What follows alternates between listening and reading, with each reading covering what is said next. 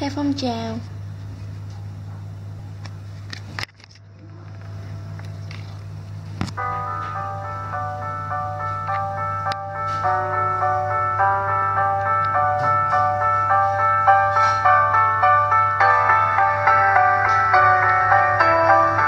Coi clip nha.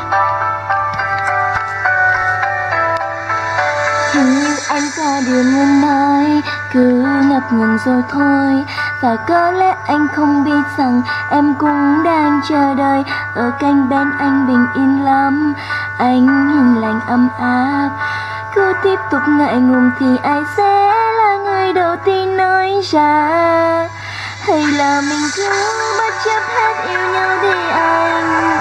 Hay để chắc chắn anh cứ lắng nghe tình muốn gì Sẽ nói cho em nghe. Một câu thôi.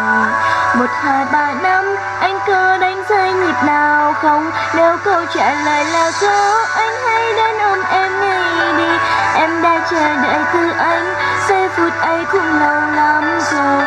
Và dẫu cho mai sau, Có ra sao, Thì em vẫn sẽ không hối tiếc khi ngày hôm nay. Đã nói yêu. Hình như anh có điều muốn nói. Cứ ngập ngừng rồi thôi.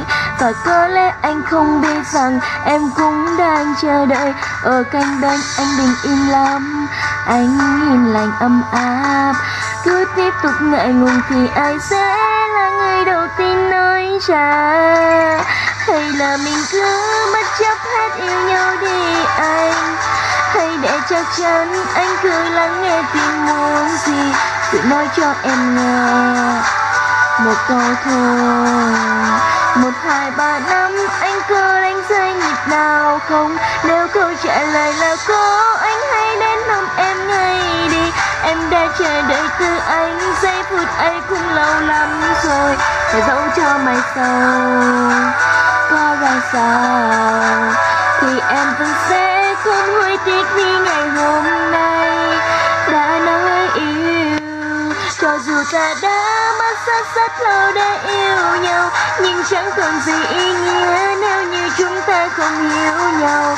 Thật muốn quan tâm nhau. Phải không anh? Và em xin hứa sẽ mãi mãi yêu một mình anh. Cho dù ngày sau gió có nắng hay mưa trên đầu, Em chẳng ngại điều gì đâu. Chỉ cần chúng ta che chở nhau. Có anh bên em là em yên lòng. Kể từ hôm nay, anh sẽ chính thức được lại anh